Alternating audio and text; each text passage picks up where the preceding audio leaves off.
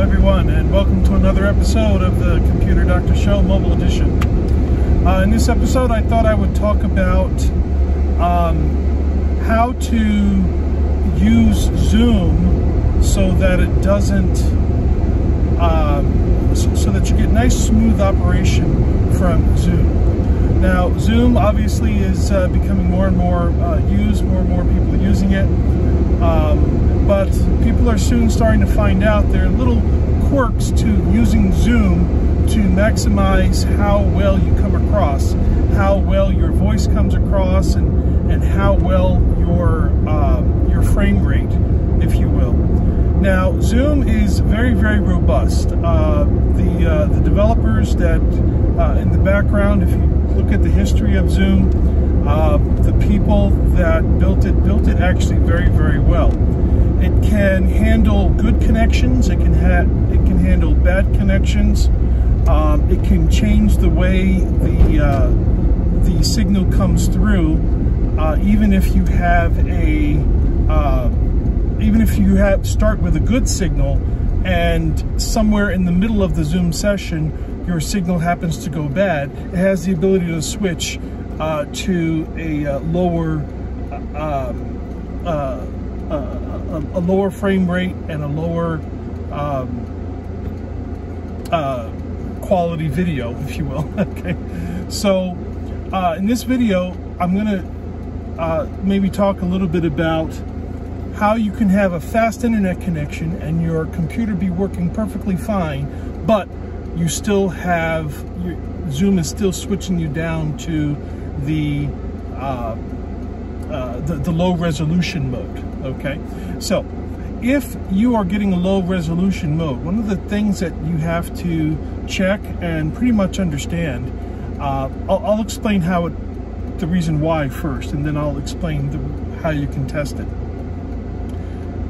So the World Wide Web, the internet, the way information is passed through, it is not passed through through a stream. It's passed through in packets or chunks of data. It is not a consistent thing. Now, that may, that comes into play when, like for example, if you request a website, you're on your computer, you're surfing the web, you type in a website, you hit enter. What the computer is actually doing in the background is it's requesting that site, IP addresses, DNSs, uh, all kinds of uh, TCP, UDP, all that stuff basically what is happening is the computer is requesting a website to be displayed on the computer screen. So there are two methods of communication. The outgoing message is the request and the receiving of that website is the reply. That's incoming. So you have upload, which is your request, and then download, which is the website coming in. So it's a two-way communication digitally through the internet. Now, what most uh, internet service providers will offer you, they will offer you a faster download. But when it comes to using Zoom, you need both fast download and fast upload because you want to see and hear the people that are on Zoom and you also want them to see and hear you. So Zoom requires a little bit higher of uh, uh, of a upload speed than the download. But the download is like the bread bread breadwinner of the of the uh, internet uh, services, right? So they will always advertise to you a better internet service as far as fast download speeds, but that doesn't necessarily mean that because you have a faster download speed that you'll actually have a better Zoom experience.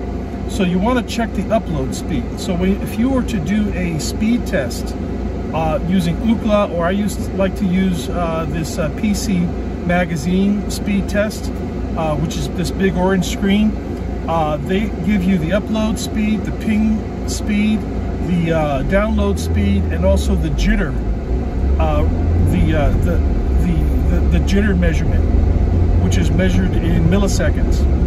So in order to have a good Zoom experience, you need good download, good upload, good, very, very low jitter, something less than two milliseconds. Anything over two milliseconds, I've noticed two milliseconds seems to be the magic number of when you start, uh, of what actually like trips Zoom into going into the low bandwidth mode.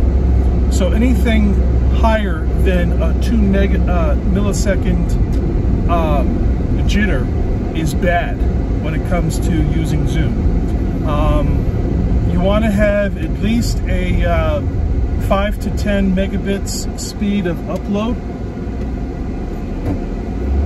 because Zoom utilizes very much the upload just as much as the download and you want to have very low jitter. Uh, ping is not all that important. Ping kind of refers to how fast it's able to initialize the connection. But once you're connected, you don't have to have a fast ping, you know, after that per se. Although it does travel in packets, the ping is not, doesn't come into play that much, but the jitter does. Uh, so, what can you do if you measure your system and you notice that you have a high jitter and a low download speed? Well, that is something that you have to talk with your internet service provider about. So when you call them up, push all the options for uh, internet trouble and tell them that you have uh, a low upload speed and a lot of jitter. Now, they're going to fight you on this. They're going to fight and they're going to try to say that it's your router that's the problem. Now, many times it can be.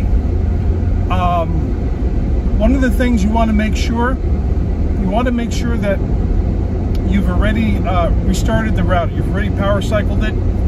Uh, something else that is that can also reduce the jitter, which is what you want, is to uh, plug it in, is to plug your computer directly to the router using an Ethernet cable instead of running wireless, if that's the case in your case. Um, if you're still not getting good readings on these uh, speed tests and jitter tests, um, you have to call your internet service provider and tell them about it. Um, one of the first things they're, they're going to blame is your router, okay, which they can do. That's why I always recommend that you rent the router from the ISP. That way they can't blame the, uh, the router as much as they would like and they can get to the real root of the problem instead of blaming your router because that's something that they love to do.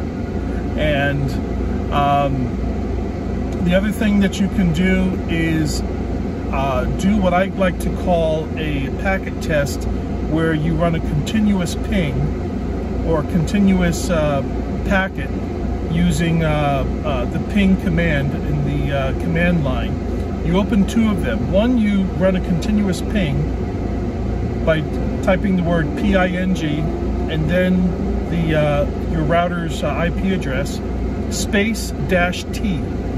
That will do it an unlimited number of times. Okay? As that's going, you open up a second uh, command window and you do ping www.google.com or www.amazon.com, some website that you know runs very, very well. Um, and so www.google.com space dash T. And you want to run those simultaneously side by side. And what we're looking for is we're looking for variations of time. If you see a dropout or a big change of time on the side going to Google or Amazon, but you see no problem with the connection directly to your router, then that means that there that the connection between your computer and the router is perfectly fine.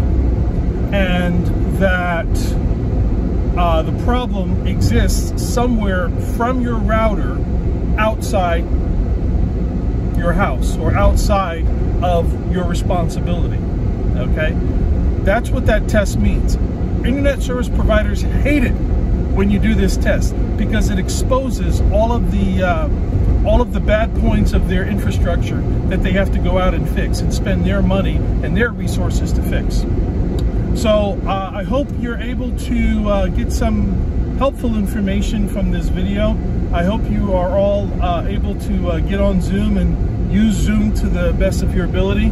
Um, there's no real telling of when this everything is going to be completely uh, uh, done and over with with COVID-19. I hope you all are staying safe.